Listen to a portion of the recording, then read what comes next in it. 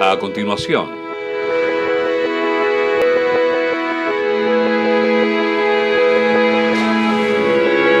Televisión Ciudadana.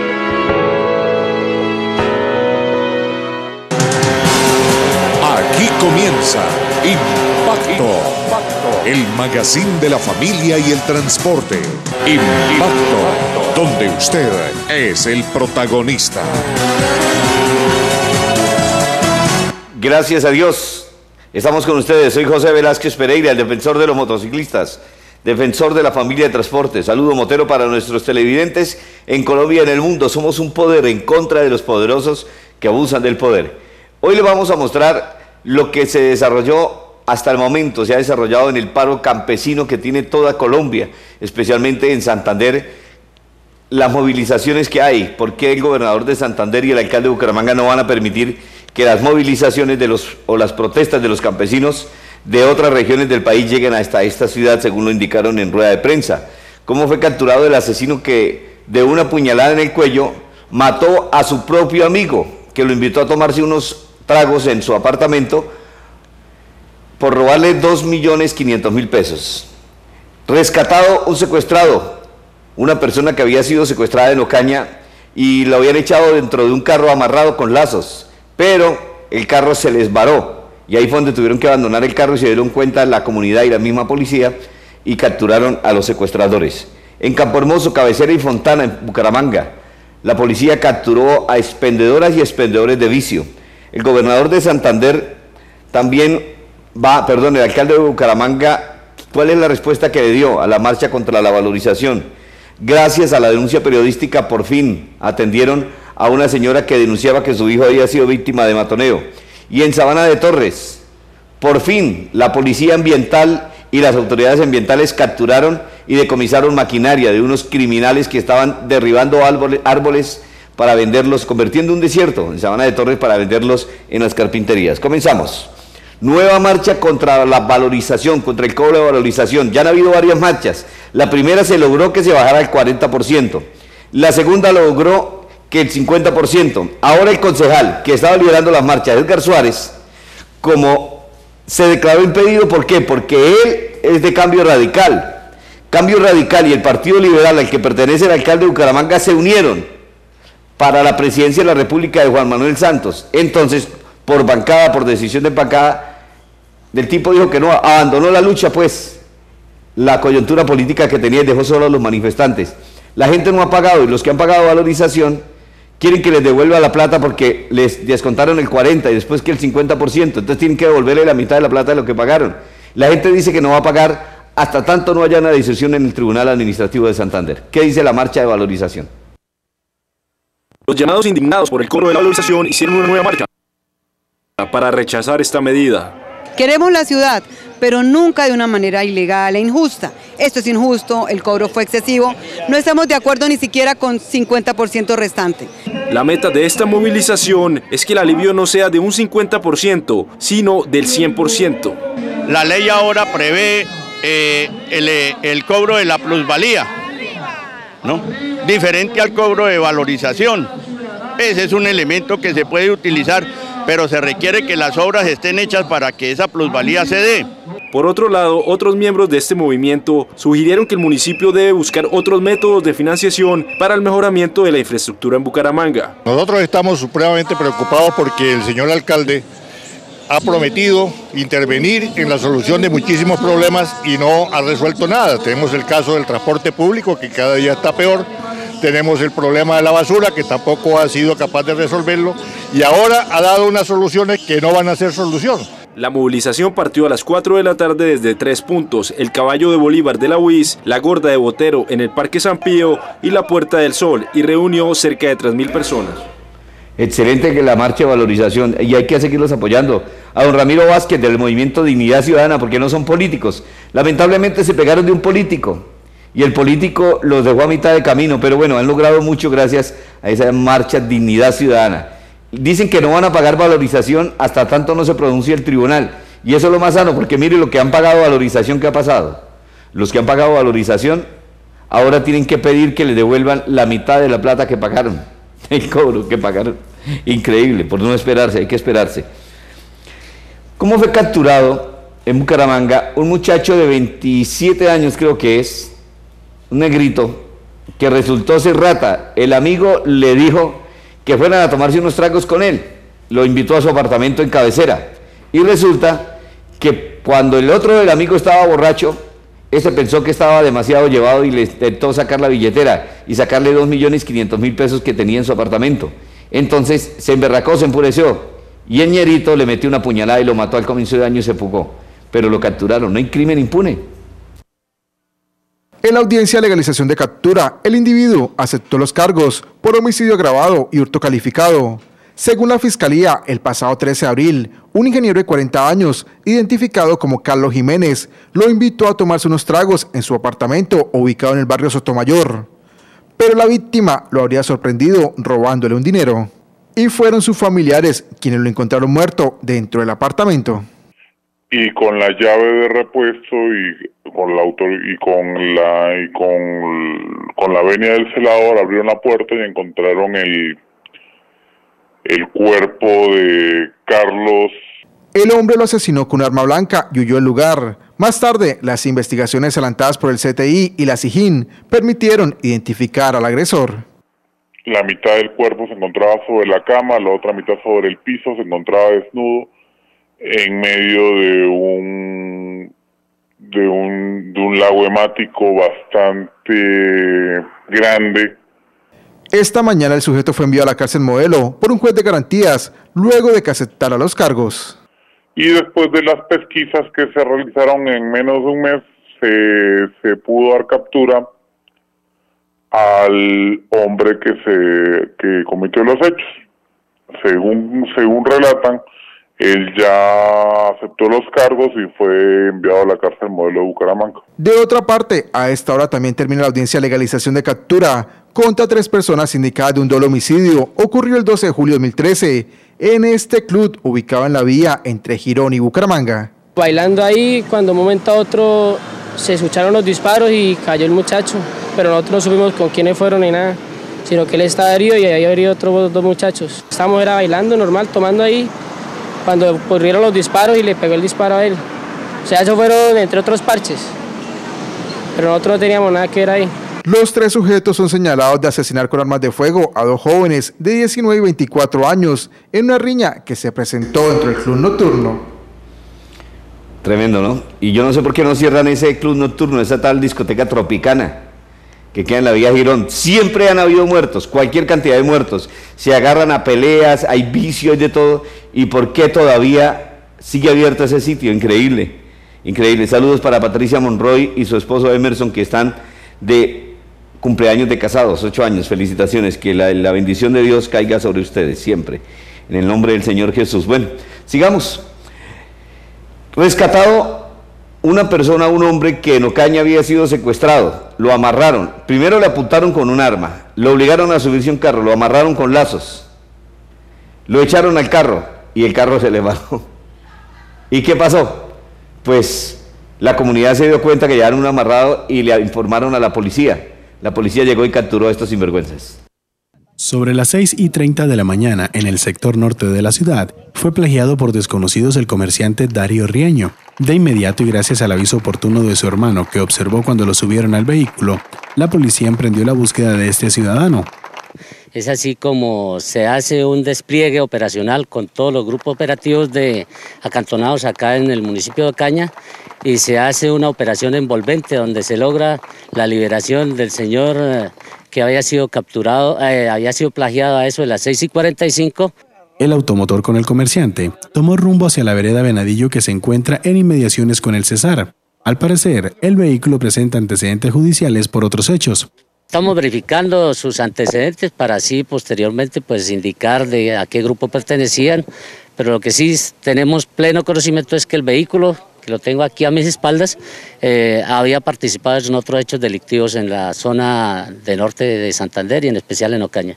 Lograda la liberación, Riaño Lemus fue llevado hasta la estación de policía en donde se encontró con sus familiares y fue recibido por los uniformados. Pasaron unos, señores ahí en un carro, en un carro, seguí bajando, se devolvieron ellos y me encañonaron, me dijeron que era un secuestro y me entraron. El carro se les paró a ellos y me llevaron para una montaña Y ahí empezaron ellos tal vez a comunicarse y de ahí me soltaron.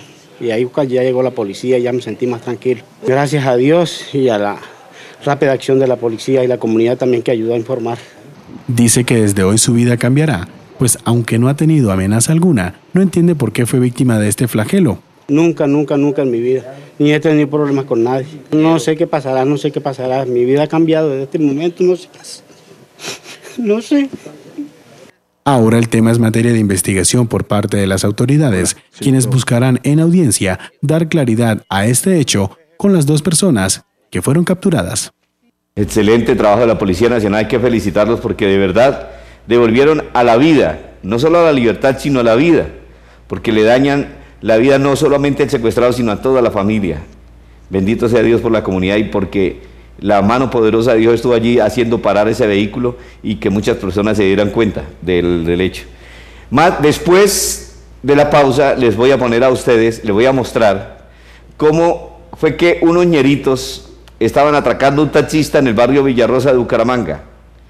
Cuando lo estaban atracando, una parte de la comunidad, alguien de la comunidad, un hombre sano, una persona sana, que no le gusta que a su, a su barrio se lo tiren los ñeros, que los taxis no vayan para allá, que cuando tomen un taxi, el taxi tranquilamente lo lleve, y no, lo lleve y no se le niegue llevarle la carrera, ni los buses tampoco, ni nadie se niegue.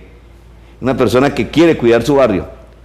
Informó a la policía, la policía llegó, pero cuando llegaron los policías, los ñeritos, los atracadores, agarraron a cuchillo a los policías. ¿Qué pasó? Cuando llegaron más policías, la comunidad atacó a los policías. La comunidad, la mayoría. ¿Quiénes? pues los papás, los primos, la mamá de los, de los ñeros, de los ratas. Increíble. Pero por eso es que se tira a los barrios, por eso es que nadie va por allá a esos barrios, por eso es que ni las tiendas a veces encuentran las cosas. ¿Por qué? Porque para qué llevan si los que van a, vender cerveza, gaseosa, leche o a proveer la tienda los atracan. Y si a un taxista va a hacer una carrera para él lo atracan, entonces el taxista nunca va. Y usted puede estar enfermo muriéndose, pero eso le pasa a la comunidad que ataca a la policía. Les voy a mostrar el video y también de unas ñeritas. Después de la pausa también les voy a mostrar cómo el gobernador de Santander y el alcalde de Bucaramanga no permitieron el ingreso o no permitirán el ingreso de campesinos. Pero antes de eso vamos a mostrarle cómo en Campo Hermoso la policía capturó Campo Hermoso, Fontana y Cabecera, capturó a unos jíbaros, a unas viejas que se, y a unos otros tipos que se dedicaban a vender vicio. ¿Cómo fue la captura, William? Las últimas capturas se realizaron en operativos adelantados en los barrios Campo Hermoso, Cabecera y Fontana. Dos hombres y una mujer que portaban más de 160 gramos de marihuana, quienes iban a ser expendidos en el sector del centro de la ciudad de Bucaramanga. Igualmente en el sector de Provenza, igualmente se incautaron 100 eh, gramos de marihuana que se encontraban en posesión de un ciudadano y quien también se tiene conocimiento que está dedicado al expendio y venta de estupefacientes. Con estas capturas ya se llega a la cifra de 1.193 personas vinculadas con el tráfico de estupefacientes que caen en poder de las autoridades. Sí, en este momento hay una estrategia nacional que al nivel local dentro de la Policía Metropolitana es aterrizada a nivel de los cuadrantes, a nivel de las estaciones de policía, donde se combinan acciones contundentes por parte de investigación criminal, SIGIN, inteligencia y cuadrantes en procura de ser más efectivos frente a este asunto, articulados en todo caso y siempre con la Fiscalía General de la Nación para llevar a cabo allanamientos que incluso se han desarrollado en las últimas horas y que serán ya expuestos en su momento y que nos permitirán dar un parte de efectividad frente a la captura de las personas que de estos lugares de expendio venden y también poseen este tipo de sustancias. La policía insiste que este es el delito que más afecta al área metropolitana y de él se desprenden otros hechos como homicidios, lesiones personales y hurtos. Bien, el trabajo bueno, señor comandante, su comandante de la policía, mi coronel Raúl Pico, mi amigo, que hacen un trabajo formidable. Vea, cuando le quitan todo ese pasto a los burros de Bucaramanga, la comunidad se alegra porque son menos viciosos, menos orinadas en las calles, menos ñeritos trabándose de todo. Eso es lo bueno, esa es la gran ventaja y si no que le pregunten a Juan Casanova. Después de la pausa le voy a mostrar todo lo que, lo que ocurre en el paro campesino en Santander y otras noticias aquí en Impacto. El video de las ñeritas agarradas a pelear y también de los ñeros que con cuchillo en mano repelieron cuando la policía los iba a capturar porque estaban atracando a un taxista y cómo la comunidad, en vez de apoyar a la policía, estaba apoyándola a los ñeros. Después de la pausa. Saludo, motero.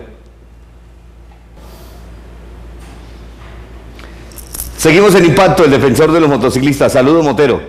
Hay que ir a donde los clientes que nos apoyan a nosotros, porque en la medida en que ellos nos apoyen quiere decir que usted puede ver un programa de televisión. Si esos clientes de los comerciales que usted acabaron de ver no nos apoyan, entonces no habría este programa de televisión. Ustedes estaríamos reunidos en su casita viendo novelitas gays. Y eso sí que nunca es perdonable, eso sí que es imperdonable. Entonces tienen que ver impacto y apoyar a los clientes. Los cascos solamente voy a comprarlo en Forplas. Los taxis en Bracho Autos o en Taxi Taxi. También los carros usados en Taxi Taxi. Si usted quiere vender o comprar un carro nuevo en Taxi Taxi. Además, en Carbón y Leña puede ir a almorzar en el Mutis, comer las comidas rápidas también en Cañaveral, ir a Marjucos, a Marjuacos en la ciudad de la Real de Minas, en Los Naranjos, ahí junto a Glacé. ¿Qué otra cosa tenemos? Tú, tenemos tanto, tanto impacto, gloria de Dios.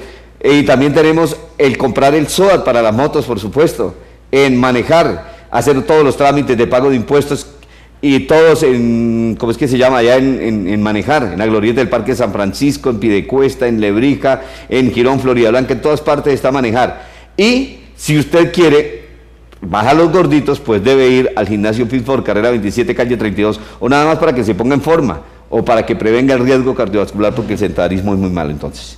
Como les había prometido antes de ir a la pausa, vamos a ver una pelea, o perdón, un ataque de unos ñeros que acababan de atracar a un, a un taxista a cuchillo. Alguien de la comunidad informó, apareció la policía y los ñeritos se le mandan a los policías a cuchillo, retándolos a cuchillo a los policías. Y los qué policías tan tontos, tan estúpidos, de, perdone que pero les diga así, pero es que tiene derecho uno a ofenderlos. Teniendo ellos las armas del Estado, ¿por qué no? Pum, pum. Para eso les dan un arma, para que se defiendan porque tienen inminente riesgo de la vida. Se le iban los ñeros y los policías, en vez de darles o a la cabeza o a algún lado porque van armados, ¿por qué dejan que los ñeros los agredan, los amenacen y los policías dicen que retrocediendo asustados? No, mire este video que está en operación, perdón, en el grupo de Facebook que se llama Denuncien los ñeros de su barrio Ciudad Bucaramanga. Ustedes lo pueden ver allí.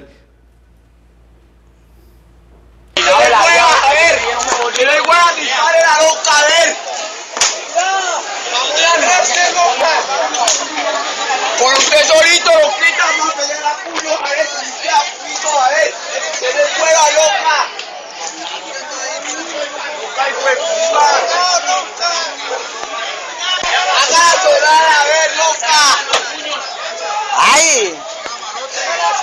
Era manos, puños, comando. A manos, puños, a ver, comando. ¡Ay! A manos, puños, a ver. Viste la guerrera y todo, a ver. Que nadie meta a ellos, a ver, nos damos puño, a ver. Ah, marica, y ves que no le ganó el lata ni nada para acá.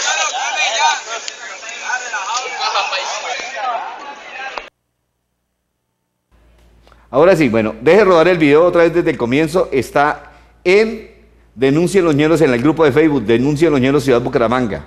Ahí está este video. Esto ocurrió en el barrio Villarrosa esta semana. Fue un atraco que le hicieron a un taxista. Dejemos de rodar el video nuevamente porque es que es inconcebible. Hágale. Dale, dale. dale. Es inconcebible que estos policías se dejen ofender y además ya tenían la denuncia de que habían atracado a un taxista. Entonces, tiene varios delitos por los que los pueden meter, los pueden judicializar. Y es que algunos doñeritos de estos son disque menores de edad. Entonces, porque son menores de edad, entonces que no le pueden hacer nada. Claro, la ley de infancia y adolescencia también les permite. Además, la policía tiene las armas del Estado. ¿Cómo se van a dejar de amedrentar? O sea, que siempre que vaya allá va a ser lo mismo y que la comunidad va a favorecer a los ratas. No, ¿cómo es posible? No, comunidad no haga eso, vea, graben todo, denúncienlo, si quieren manden, sigan mandándome los videos a mí y con gusto los paso, pero los policías allá, ¿qué tal eso, no?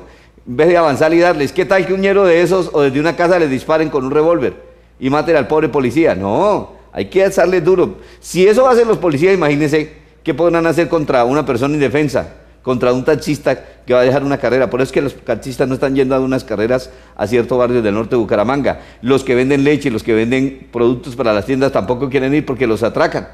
Y es cierto, porque se tira en el barrio. La misma gente que viene en el barrio cuando se queda callada y no denuncia, pero con policías así que van a denunciar también es cierto. Bueno, ¿qué dice el gobernador de Santander y el alcalde de Bucaramanga? ¿Por qué el gobernador de Santander y el alcalde de Bucaramanga no van a permitir que obligados por la guerrilla vengan campesinos del Bolívar, de Aguachica, de Ocaña, de el Magdalena Medio, de Arauca y de otras regiones del país, disque a tirar piedra y darse con la policía aquí en Bucaramanga con el paro campesino bajo la condición de escoger a dos campesinos para ser voceros ante el gobierno nacional y para aprovechar la visita intempestiva del ministro de Agricultura este viernes a San Gil. Bueno, se hizo un levantamiento parcial.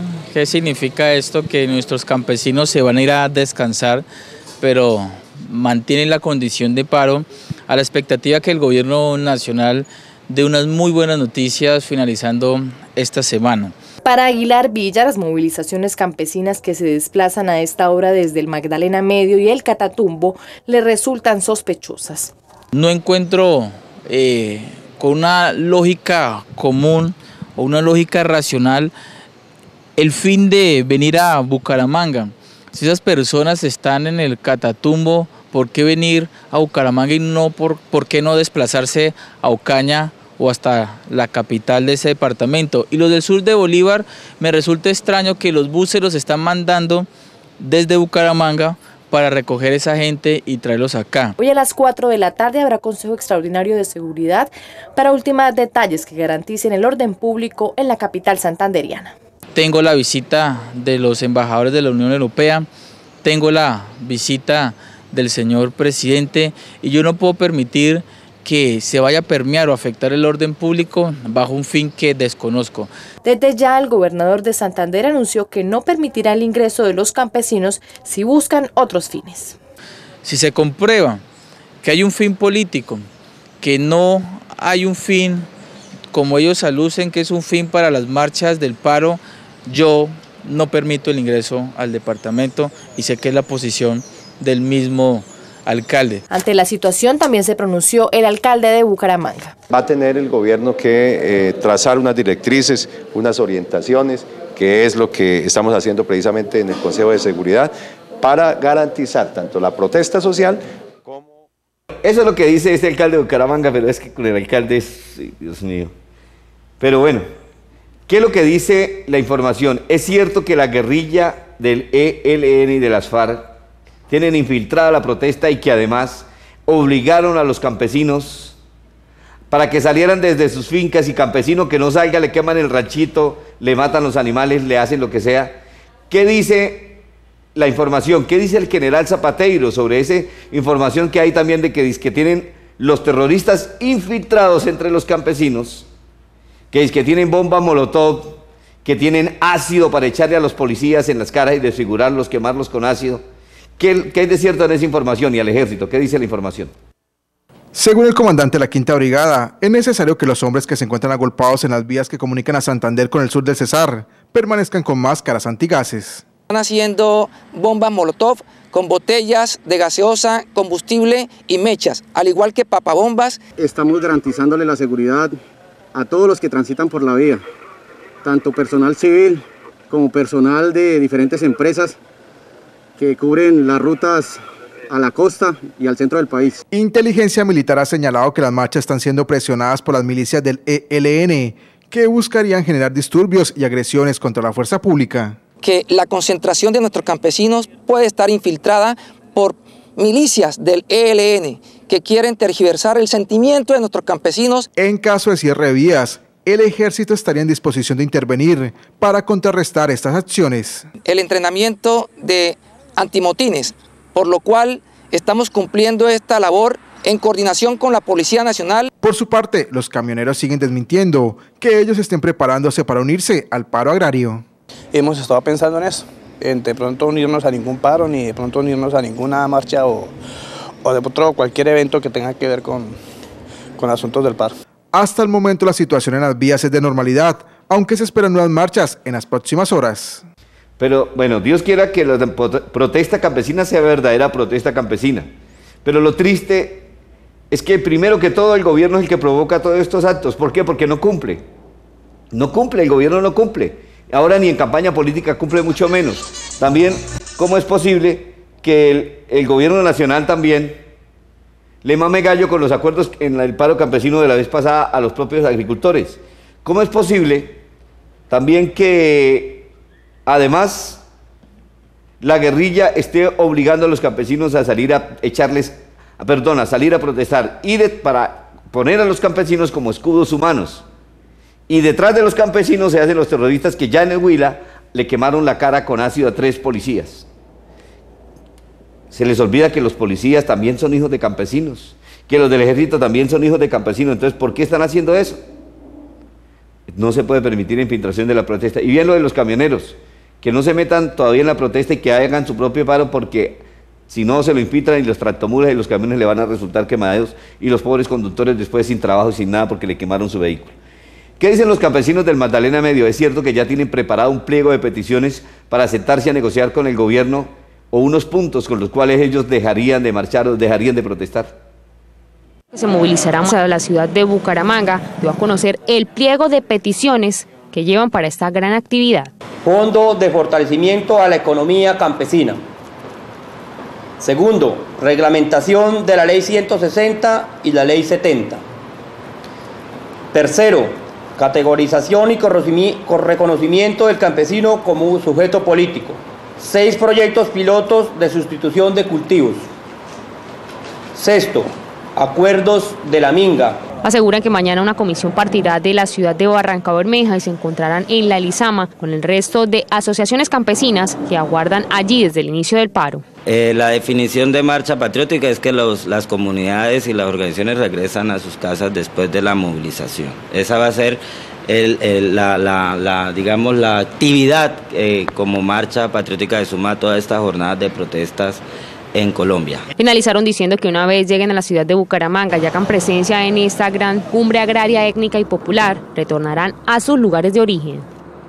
Triste la situación, pero Dios quiera que el gobierno cumpla. Me están llegando mensajes de los venezolanos que quieren venir a rodar a Colombia y que me preguntan que si es tranquilo viajar a pesar del paro campesino, sí, porque no hay cierre de vías. El gobierno garantizó el derecho a la protesta, pero también garantizó de que de acuerdo con los campesinos, no van a cerrar vías. Dios quiera que no se vayan a presentar cierres, sino que protesten, perdón, que protesten bien. Y a raíz de esas protestas, por eso es que nosotros en la ciudad debemos apoyar a los campesinos. Porque mire, esas protestas ha hecho que primero la carga llegue más cara, que no pueda sacar productos de la gente porque con el temor de que si sacan, por decir algo, un camionado de yuca, y el caminado de yuca se queda trancado en un paro, entonces se pierde el caminado de yuca, entonces pierden, ¿cierto?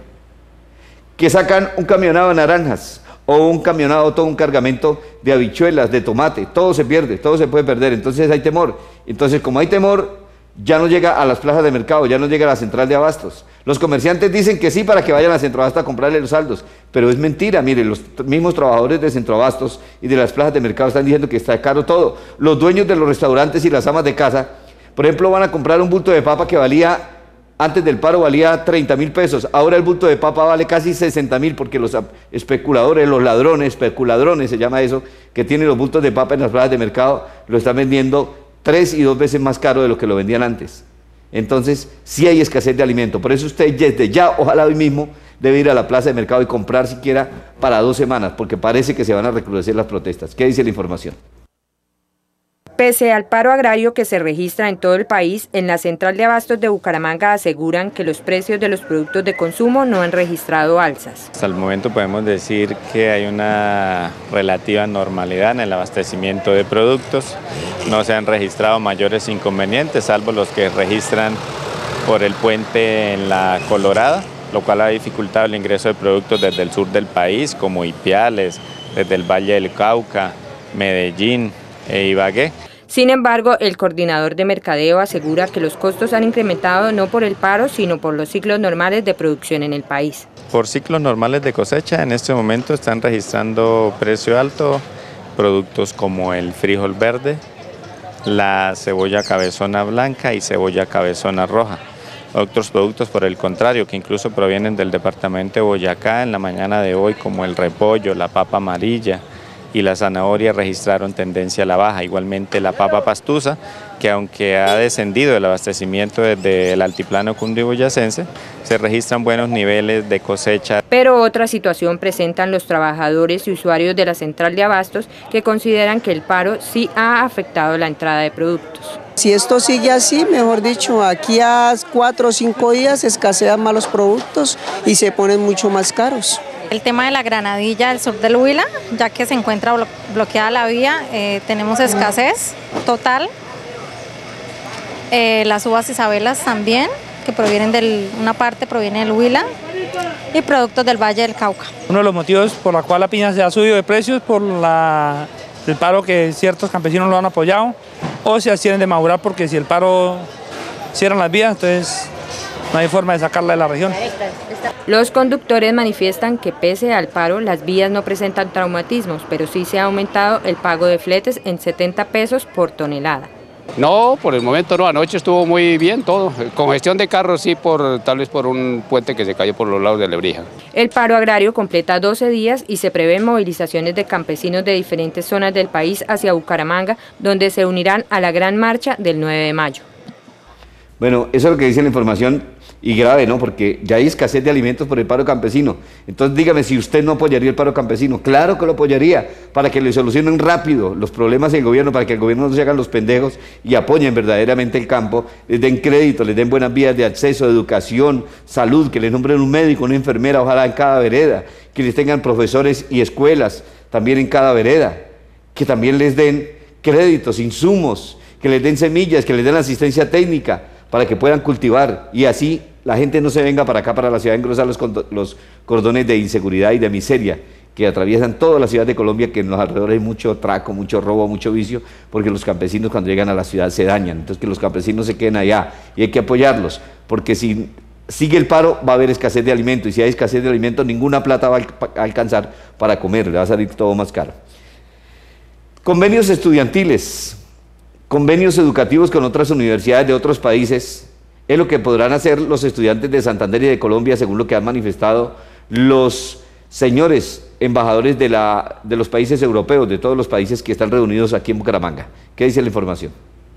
Según Jaime Vargas, asesor de las nuevas tecnologías de la información y las comunicaciones de la Alcaldía de Bucaramanga y coordinador académico del encuentro, la confluencia de centros de educación superior del viejo continente y el ámbito local y regional le permiten un acercamiento y afianzar relaciones para el establecimiento de convenios que beneficien a los jóvenes de ambas partes. Lo que no habíamos tenido eh, lo que no tenía precedentes a nivel local era traer a los agregados educativos con los embajadores a la ciudad para que intercambiaran con nuestros actores locales.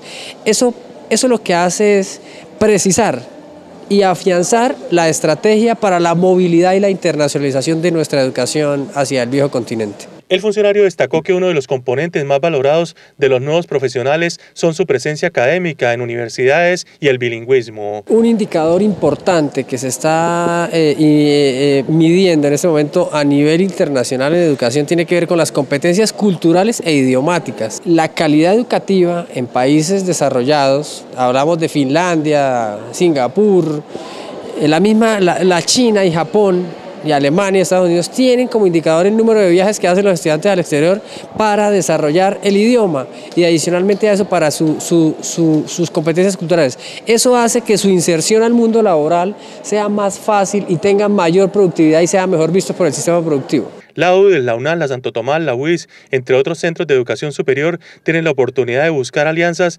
estratégicas para elevar la calidad y el nivel de sus egresados. Bueno, Dios quiera que todo eso sirva para los santanderianos y excelente noticia. Después de la pausa le voy a mostrar la pelea de los ñeritas, de las ñeritas. En Bucaramanga parece que como dicen por algo así, no mentira, yo no digo eso. La denuncia de un periodista, la denuncia de un periodista que pasamos aquí, de un periodista a favor de una señora que, cuyo hijo había sido víctima de matoneo sirvió para algo. Le ayudó muchísimo y al hijo ya le prestaron atención y ella también cuando le habían mamado gallo todo el tiempo hasta en el mismo colegio. En Sabana de Torres, la policía capturó a tres criminales ambientales que con bulldozers y retroexcavadoras estaban tumbando bosque para vender la madera en los acerríos de Bucaramanga. No se encuentra el cadáver de la persona que hace dos semanas se ahogó en el río Táquiza, cerca de Charalá. El alcalde dice que dice la información que el alcalde tampoco ha querido colaborar. Y el martes en la noche, ¿cómo fue que se incendió un Renault 4 en un parqueadero en el centro de Bucaramanga? Después de la pausa, saludo Motero. Seguimos en Impacto, el defensor de los motociclistas. Saludo Motero para nuestros televidentes. Ahora sí mostrémosles el video de las ñeritas que en pleno centro de Bucaramanga se agarraron, después de que salieron de un colegio, se agarraron a pelear. ¿Por qué razón? Dicen que por un peladito, por otro pelado que se agarraron, por otro ñerito, ¿Qué tal? Esas son las niñas que se están educando en los colegios de Bucaramanga. Falta de que los papás le hubieran dado fuete a esas viejas sinvergüenzas. Mírenlas.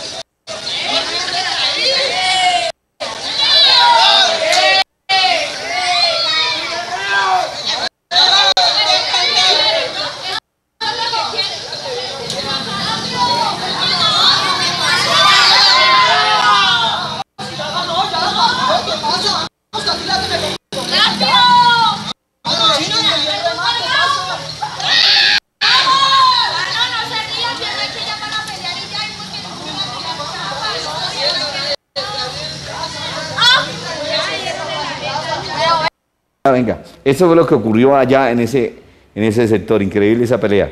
Esa está, esos videos los consigue usted en la denuncia de Loñeros Ciudad Bucaramanga.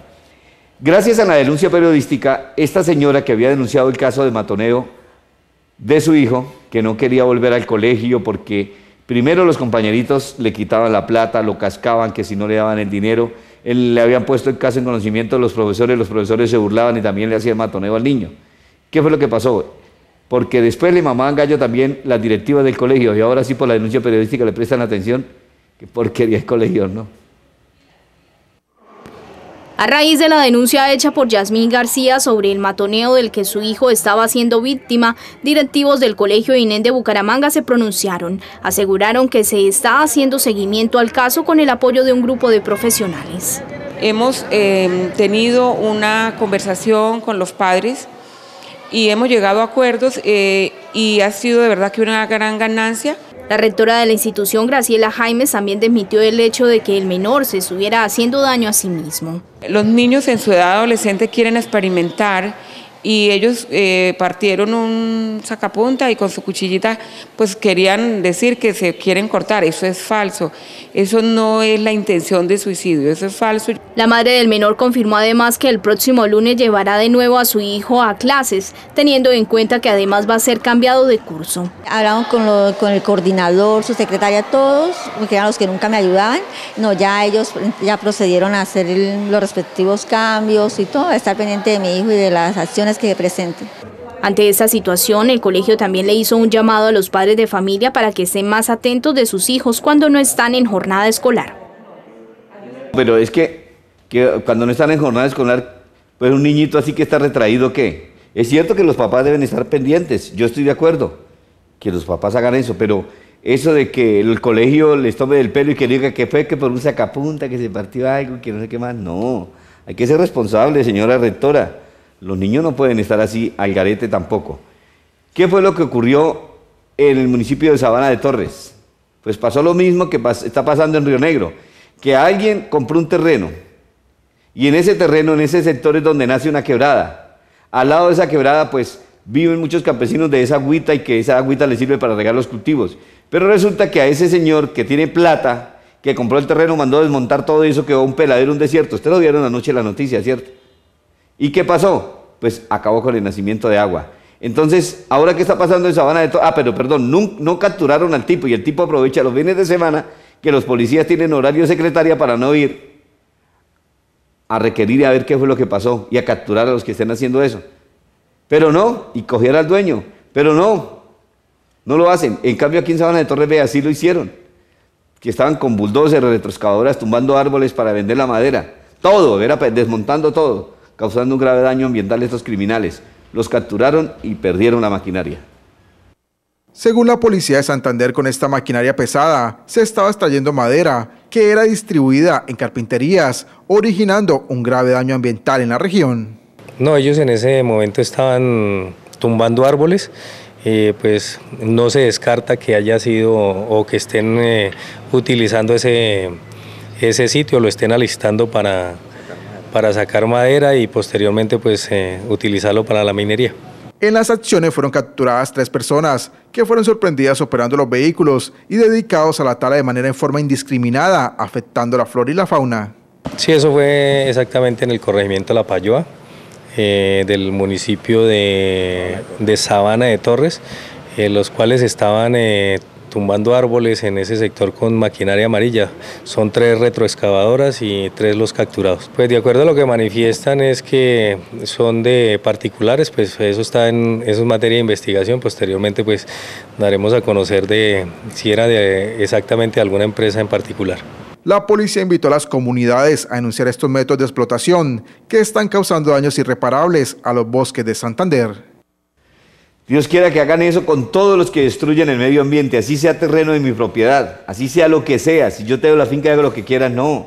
Yo no puedo afectar a otros haciendo esas cosas, afectando a mis vecinos. Le acaban los arbolitos donde los pajaritos, donde los loritos anidan, donde los, arbolitos, los pajaritos comen frutas, ¿sí? Donde se esconden las serpientes, los animales, tampoco. Donde cuidan, esos arbolitos retienen el agua para que haya agua en épocas de sequía. ¿Qué tal esto? Trae que hemos pasado por terribles sequías, con razón que Dios a veces nos castiga con sequías fuertes o con inundaciones, porque no sabemos cuidar el medio ambiente y los encargados, la autoridad encargada de capturar a esos criminales, poco lo hacen, pero menos mal que aquí se actuaron muy bien. No se encuentra el cadáver de una persona que se ahogó cuando estaba tomando un baño en el río Chiquiza, creo que es que se llama ese río, Táquiza, el río Táquiza en las mediaciones del municipio de Charalá, Santander. ¿Por qué dicen que el alcalde no ha querido prestar colaboración para rescatar el cadáver? ¿Qué dice la defensa civil?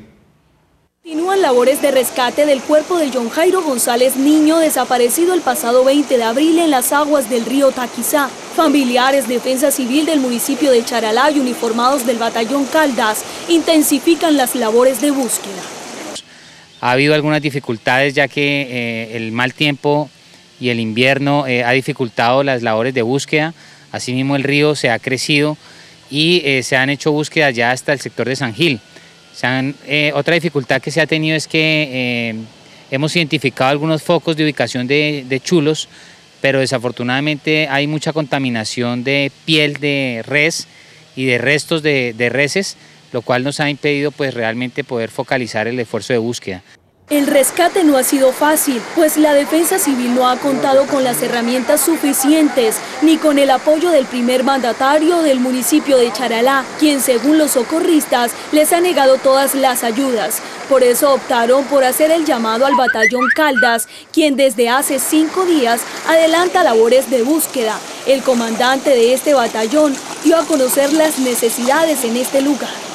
Bueno, la defensa civil ha tenido algunas dificultades en cuanto a alimentación, en cuanto a raciones y en cuanto a hidratación sobre el sitio, ya que eh, se les ha dificultado el manejo de la logística y pues no han podido tener los apoyos suficientes para poder realizar estas labores. Pese a las dificultades, la búsqueda se extendió a tres días, poniendo toda la esperanza en que en este lapso de tiempo sea rescatado el cuerpo.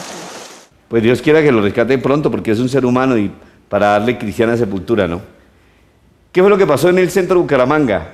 Que un Renault 4, que el Renault 4 al parecer presentó fallas, que el señor lo dejó aquí, pero que en el parqueadero para acomodar otros carros lo acomodaron en este lado, que el Renault 4 se incendió, que gracias a Dios no se quemaron otros carros. En el centro de Bucaramanga el martes en la noche, carrera, calle 37, carrera 15. Los hechos ocurrieron la noche del martes cuando un Renault 9 ardió en llamas y los bomberos tuvieron que acudir al sótano del edificio Colseguros, ubicado en la calle 37 con carrera 15, para atender la situación. El vehículo es dejado aproximadamente a las 2 de la tarde cuando este señor pues seguramente ingresa a sus labores y lo deja ahí, pero no estaba en el sitio donde eh, había sido dejado por el propietario, lo que quiere decir de que en el parqueadero, pues desde luego por las mismas condiciones de que deben de estar moviendo los vehículos para que otros salgan, pues el vehículo fue movido de un lugar a otro y desde luego pues fue activado su sistema de funcionamiento y no sabemos qué pudo haber sucedido ahí al respecto. Esta es una situación que realmente pues es fortuita y difícil de, decir que fueron manos criminales o daños eh, del vehículo, difícil de determinar. Los bomberos señalaron que en el lugar no habían extintores para atender este tipo de emergencias. El edificio en el sótano no tiene extintores. Eh, los extintores fueron traídos de los vecinos o los almacenes de aledaños quienes participaron en la extinción del incendio, pero el edificio como tal en el sótano no cuenta con las medidas de seguridad como es la red contra incendios o los extintores que debe contar para este tipo de emergencias. Sin embargo, gracias a la oportuna acción, se salvaron 50 vehículos. Donde se atendió y se evitó pues, de que aproximadamente 50 vehículos que se encontraban alrededor fueran eh, totalmente destruidos por las llamas, como efectivamente sucedió con este que acabo de mencionar. Ahora se espera conocer el resultado de las investigaciones que adelanta el CTI para conocer las causas del incendio. En principio, no se descartó que se hubiera originado en un cortocircuito. Bueno, eso fue lo que pasó. Gracias a Dios no hubo tampoco motos quemadas ni personas lesionadas. Bucaramanga, desde la 1 de la mañana y hasta las 3 de la mañana durante todo el mes de mayo, si el cielo está despejado, usted verá estrellas fugaces por el cielo. Yo le recomiendo que si usted es admirador de este tipo de, este tipo de fenómenos del cosmos, se vaya para una finca lejos de la ciudad para que usted pueda observar de esa hora, desde la 1 a 3 de la mañana, la lluvia de estrellas, de meteoritos, estrellas fugaces que van a pasar durante todo el mes de mayo. Y también, bueno, les iba a mostrar muchas, muchas más cosas, pero se nos acabó el tiempo. Espero que cuando nos veamos o me vean, nos hagamos el saludo motero. Los espero mañana. Dios me los bendiga. Feliz noche. Aquí termina Impacto, el magazine de la familia y el transporte. Impacto, donde usted es el protagonista. Director José Velázquez Pereira.